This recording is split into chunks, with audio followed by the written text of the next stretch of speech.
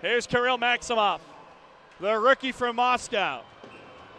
Right handed shot.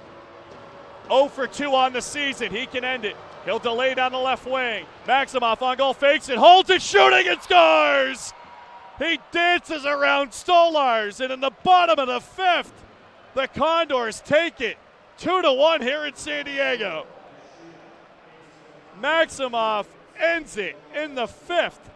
Go crazy, Condors!